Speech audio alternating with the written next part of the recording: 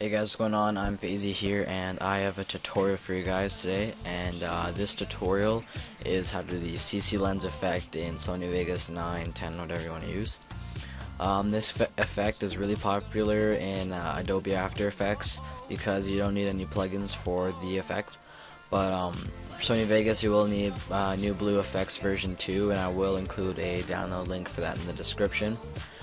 Um, so yeah, let's get started. So open up your Vegas and uh, drag in your clip. Alright, I just got a PC triple clip here. Alright, so you want to look for where your shot is because um, the shot looks best right after you shoot. So find your uh, you shoot and then split the clip.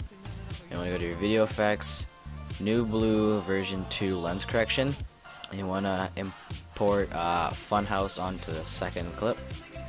Alright, now look something like this. Alright, now now what you want to do is you want to change um, to change these to these uh, settings. You want to change this to 0.0, this to 0.0, and this one is 0.0 also.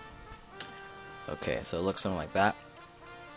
And um, now basically what you want to do is you want to animate it. So um, basically you want it to start at 100 and wherever you want it to stop. So let's say you want it to stop like right here, uh, no, right here. You want to uh, change this to 0.0 as well. And that should automatically make a keyframe right here. So um, if I bring it over here, it'll start at uh, 100 and as it gets to that line or the little uh, diamond shaped thing it'll go down to zero. So back to the original clip. So I'll quickly uh, go through here. Uh, my Vegas is like really hard because I'm recording. But um yeah I'll just quickly go through it. So it looks like that.